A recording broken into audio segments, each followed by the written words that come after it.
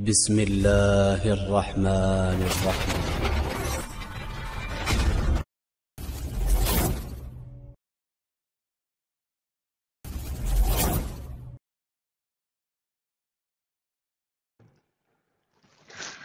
ওয়ালাইকুম আসসালাম রহমতুল্লাহি বরাকাতুহু ইব্রাহিম ভাই প্রশ্ন করেছেন যে নফল সালাতে সুরা ফাতেহার পরে সুরা এখলাস তিনবার পড়ার কথা তিনি জেনেছেন পরবর্তীতে তিনি আহ, জেনেছেন যে যে কোনো জায়গা থেকে পড়লে হয়। তো এই বিষয়ে আবার পুনরায় প্রশ্ন করেছেন যে আসলে সঠিক কোনটি হবে।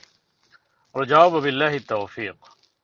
নফল সালাত হোক, ফরজ সালাত হোক, সুন্নাত হোক, ওয়াজিব হোক, সুন্নতে মোয়াক্কাদা হোক, গায়রে মোয়াক্কাদা হোক, যত নামাজের চিত্র রয়েছে, সমস্ত সালাত আদায়ের ক্যাটাগরি এক এক এবং অভিন্ন, হুবহু এক। শুধুমাত্র নিয়তের পরিবর্তন হয় যে কোনটি আমি ফরজ পড়তেছি, কোনটি সুন্নত বা কোনটি নফল। এছাড়া সমস্ত নামাজ এক, একই রকমেরই পড়তে হয়। নফল সালাত দুরাঘাত দুরাঘাত করে পড়তে হয়। ফরজ সালাত তো আল্লাহ তালা যা নির্দিষ্ট করেছেন তাই পড়তে হয়। যেমন চার রাকাত জোহর, চার রাকাত আসর, এশা চার রাকাত, মাগরিব তিন রাকাত ফজর দু রাকাত। বাকি নফল সালাত সালাতুল্লাইলি ওয়ান নাহারি মাসনা মাসনা। দু রাকাত দু রাকাত করে পড়তে হয়। সালাত আদায়ের ক্ষেত্রে সুরা ফাতেহা পড়া বাধ্যতামূলক। এরপরে আপনি কানুন কারিমে যে কোনো জায়গা থেকে যতটুকুই পড়তে পারেন, একটি আয়াত পড়তে পারলেও যথেষ্ট হয়ে যাবে।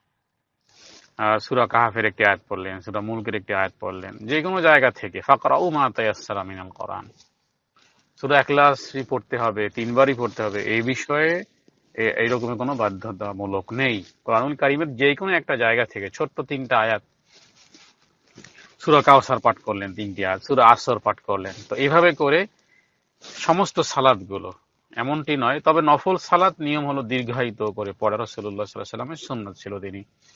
ফরজ সালাদগুলো যেগুলো জামাতের সাথে সেগুলো আদায় তাড়াতাড়ি করতেন আর নফল সালাদ দীর্ঘক্ষণ তেলাওয়াত করতেন। তো অনেক সময় যদি কেউ দীর্ঘক্ষণ পড়তে চান, কিন্তু আপনি সুরা তেমন একটা বেশি জানেন না, তাহলে যেই কোনো সুরা, যেই কোনো সুরা বারবার বারবার পড়তে পারেন। যেমন সুরা ফিল, আলাম তরা ফিল, এই সূরাটা জানেন আর একটা সূরা জানেন, অথবা মোটামুটি চারটি সূরা জানেন। তো ইচ্ছা করলে কোনো একটি সূরাকে আপনি বারবারও পড়তে পারেন। একটি সূরাকে বারবারও পড়া যেতে পারে। রাসূলুল্লাহ সাল্লাহ সাল্লাম একটি আয়াতকে বারবারও পড়েছেন কিন্তু আজিবহুম ফা ইন্নাহুম ইবাদুক। এই আয়াতটি নবীজি একেবারে বহুবার পড়েছেন তিনি। এভাবে করে কোন সূরাকে নির্দিষ্ট করে কোন নামাজের জন্য করা উচিত নয়, বরং মুক্ত রাখতে হবে আম। আম মানে ব্যাপকতা রয়েছে। সালাতে সুরা ফাতেহা তো বাধ্যতামূলক পড়বেনি ফাতেহার পরে যেই কোনো জায়গা থেকে, সুরা বাকারার শুরু থেকে নিয়ে আলিফলাম মিম জালিকাল কিতাবুল আর ফি থেকে নিয়ে একেবারে মিনাল জিন্নাতি ওয়ান নাসের মধ্য থেকে যেই কোনো জায়গা থেকে আপনি তেলাওয়াত করেন, যতটুকুই তেলাওয়াত করতে পারবেন, নামাজ বিশুদ্ধ বলে প্রমাণিত। কোরআন কারিম সালাতের মধ্যেই তেলাওয়াত করতে হবে। কোনো নির্দিষ্ট সূরা নয়। রসুল্লাহ সাল্লাহ সাল্লাম বিশেষ বিশেষ কিছু সালাতে তিনি কিছু কিছু সুরা পড়তেন।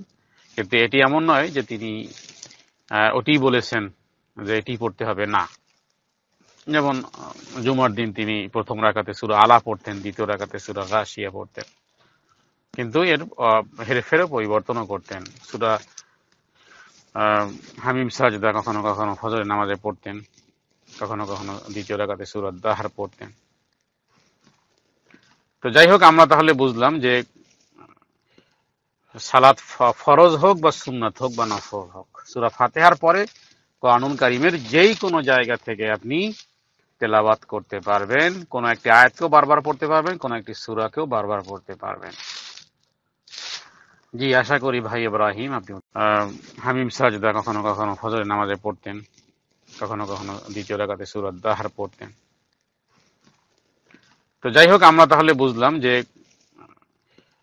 সালাত ফরজ হোক বা সুন্নাত হোক বা নফল হোক। সুরা ফাতেহার পরে কানুন কারিমের যেই কোনো জায়গা থেকে আপনি তেলাওয়াত করতে পারবেন, কোনো একটি আয়াতকেও বারবার পড়তে পারবেন, কোনো একটি সূরাকেও বারবার পড়তে পারবেন। জি, আশা করি ভাই ইব্রাহিম আপনি উত্তর পেয়েছেন। সাল্লাল্লাহু আলা সাইয়্যিদিনা মুহাম্মাদিন নবীল উম্মি আলিহি আল কোরআনের পথ, এই পথই আসল পথ। আল কোরআনের পথ, এই পথই আসল পথ। অন্য পথে অন্য মতে নেই যে রঘুমত। অন্য পথে অন্য মতে নেই যে রঘুমত। আল কোরআনের পথ, এই পথই আসল পথ। আল কোরআনের পথ, এই পথই আসল পথ।